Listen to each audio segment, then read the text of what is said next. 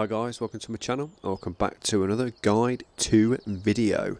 Um, in this video we're looking at this bit of kit, the latest, well one of the latest uh, DLC available. Um, it is the Saphir PlowStar Combi. Fancy bit of kit, liking the look of it. Looks very modern.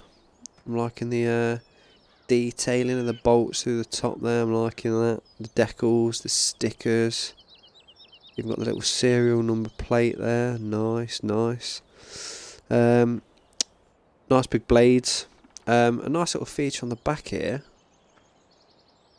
One can only assume you can attach other machinery with the right hitch, of course. But looks good. Looks good liking that, looks very mean. Again, very modern. Um, down to the details.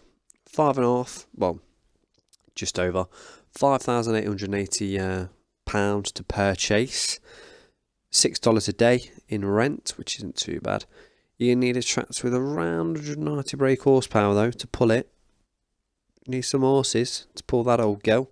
Um, takes up, and it takes up one downloadable slot, which isn't too bad at all. Um, so yeah, as it says, a deep loosener prepares the field for the next sowing. He, so he, he is an alternative to field work with a plough. A little bit sexist in today's modern day and age, but you know, everyone to their own. If that's how they want to play it, this bit of machinery is a he. And that, basically, ladies and gentlemen, is your guide to.